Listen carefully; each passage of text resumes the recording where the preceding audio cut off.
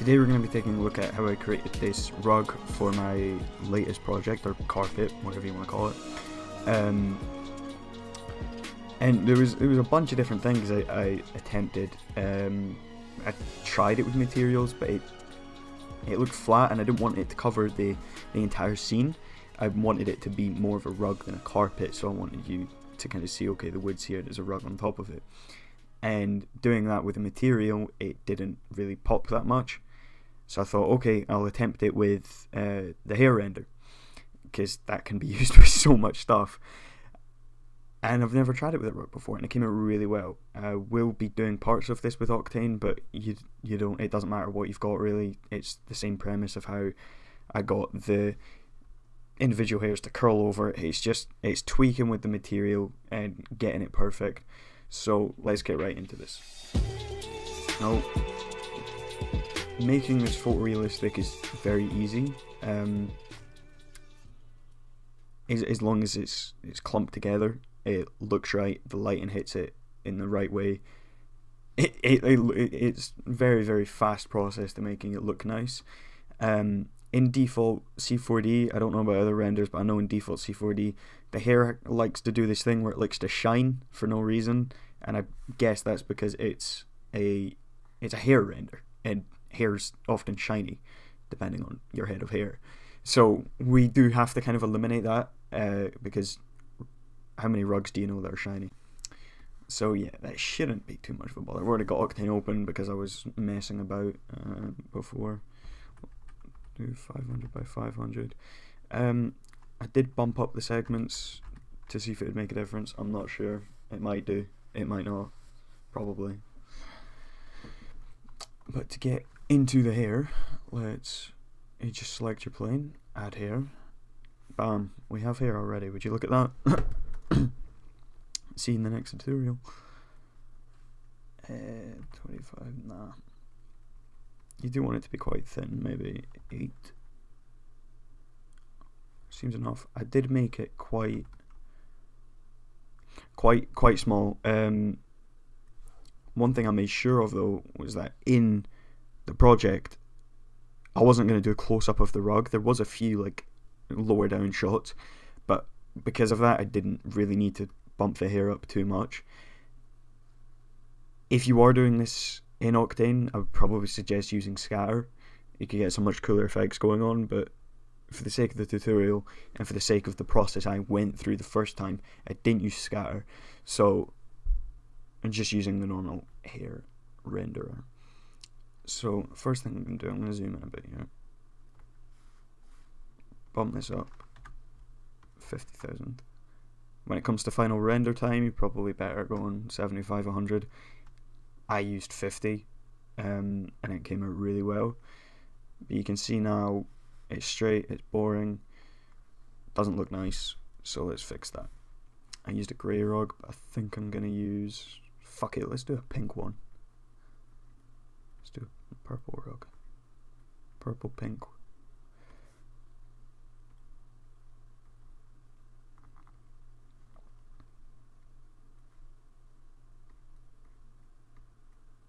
I initially never planned on doing a tutorial for this um, until it got suggested, so thank you for that.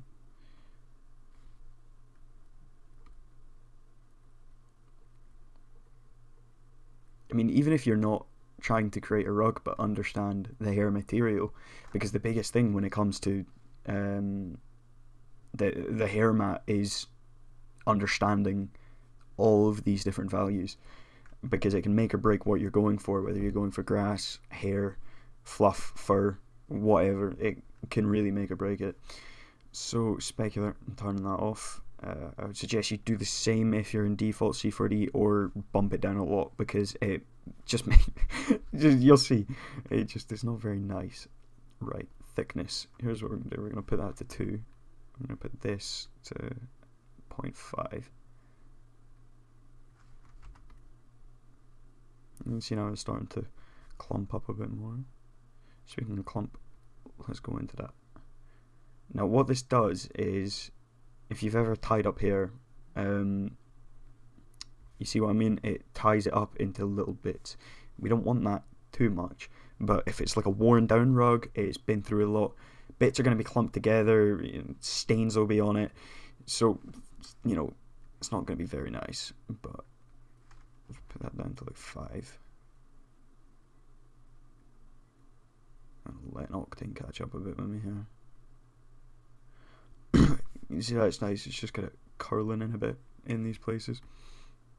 I will say that the hair render is a bit tense on your machine, so just take things slow, don't rush it. I mean, my PC's a bit dated, I'm gonna upgrade it, but the things I can do, you can see what I can do in it, but the hair render always just puts me back down to like 5 mile per hour.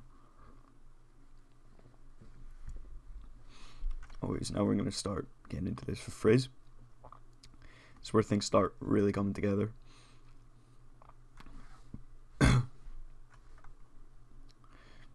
You can see things start, it starts to look a bit like grass now, but we don't want grass, so 25 and 25.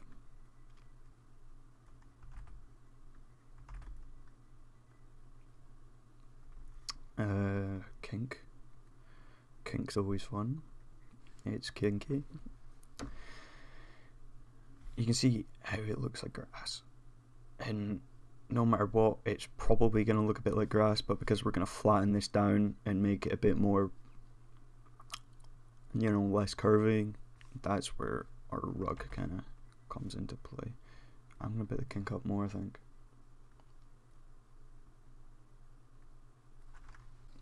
It looks really nice when you get the lighting on it as well. Variation 15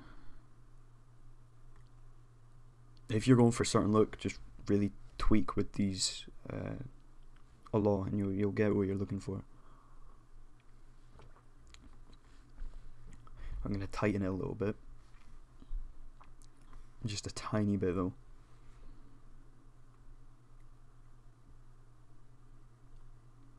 And one thing I'm not doing is I'm not messing with the scale, the length, none of that, because if you've got to think about a rug that's like mass produced or a carpet they're not very random. They're created in very you know made by machines. They're not exactly handmade these type of things.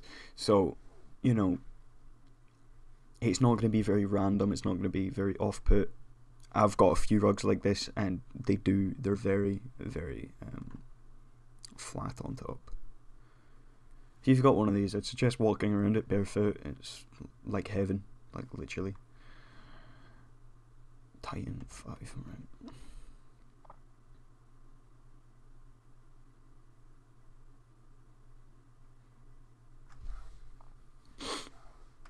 And one make or break thing I'll show you when we get out of this material. Uh, let's yeah, let's twist it. I think I did twist it a little bit. Go away.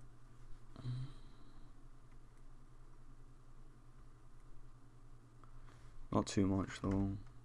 15. I think the, the best thing to do really is to stack all these values on top of each other and keep them like quite low with high variation and that's when you start to get that really messy look but the thing that's giving us this rug look right now is this thickness that can you stop please Thank you.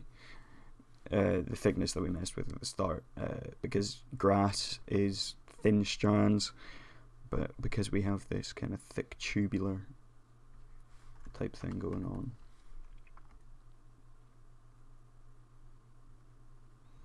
You could mess with the density, but I'm going to leave it at that for now.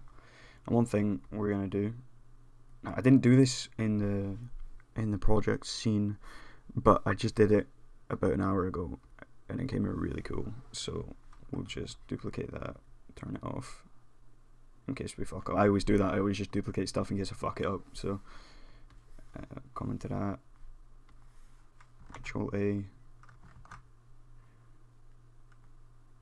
extrude, extrude it up a little bit. UL. Oh. I'm sorry if my right clicking is really off. It's this Intuos thing. It's just it's a pain to right click with. Bevel. to 10.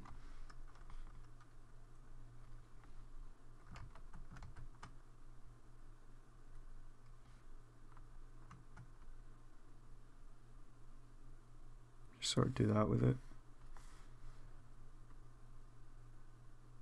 Bring it down a bit. Put the hair back on.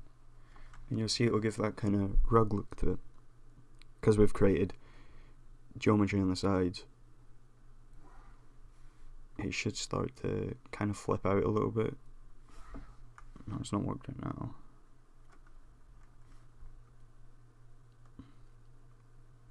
I probably didn't extrude it enough. Mm -hmm.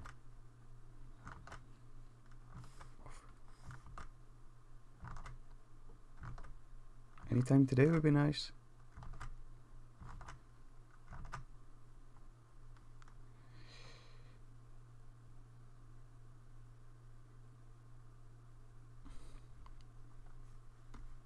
Right, I'm gonna bring this up even more.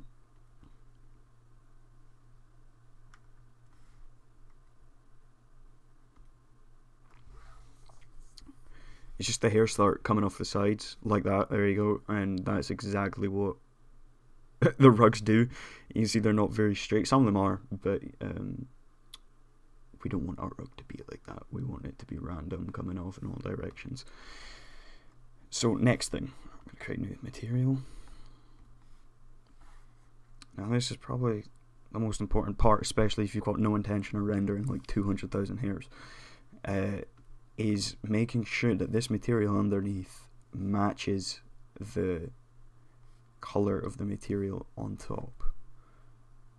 I'm going to check our values here. And the, you know, especially if you're doing a bit of a gradient here, dark to light, um, that's just it catches light a bit nicer. Um, just match the dark darker end.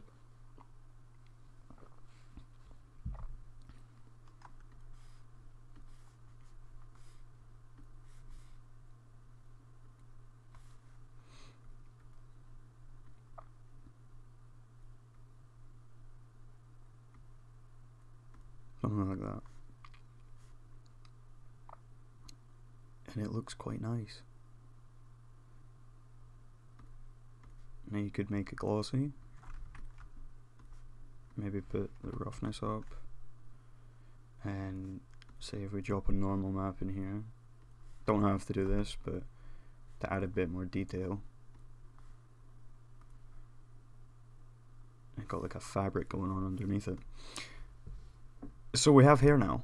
Of course, if you're animating this, uh, you're going to want to go into your dynamics properties and set the rest hold to 100.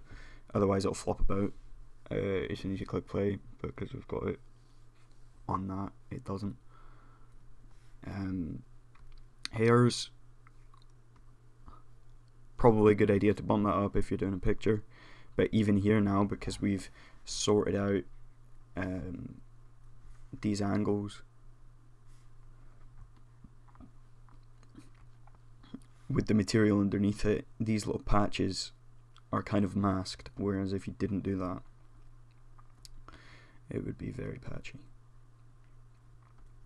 But for lighting, uh, I would suggest HDRIs if you're doing an interior scene, interior HDRI.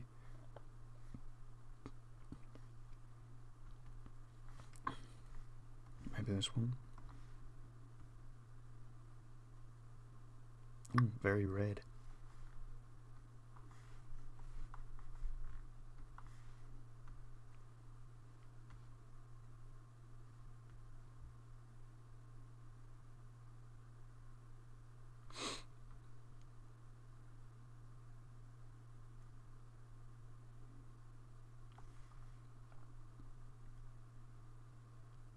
I like that. I like that go over path tracing.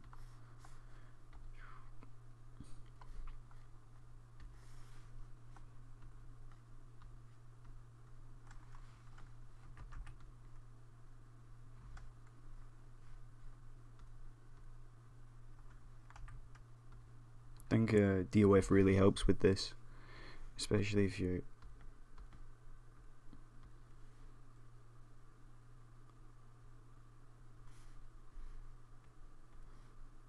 Now, would you look at that? Look at it. Oh my god. Ladies and gentlemen, we have a rug. Now, it looks like a lot more than 50,000 hairs, um, which is why I suggest don't go above it.